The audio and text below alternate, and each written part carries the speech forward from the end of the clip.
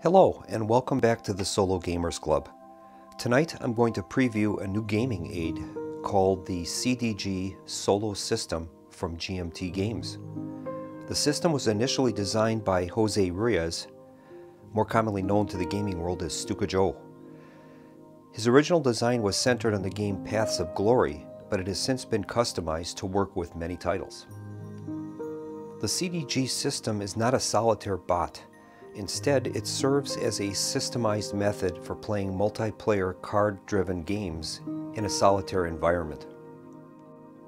The system comes with a rules summary, two card displays, one six-sided custom fate die, four markers to chart cards remaining and maximum hand size, and seven play sheets. The system is intended to limit the card selections available to the player so they can quickly select a card for play and focus their attention on tactics and strategy and the creation of fulfilling and immersive narrative.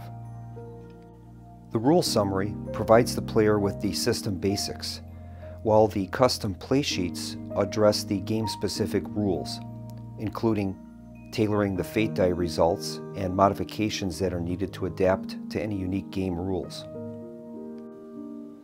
In a future video, I'll outline the custom playsheet that I designed for the title Napoleon Against Europe by Hexasim Games. Well, that's about it for now. Thank you for joining me for this short video preview of the CDG Solo system. And join me in a future video as I use the system to play Napoleon Against Europe.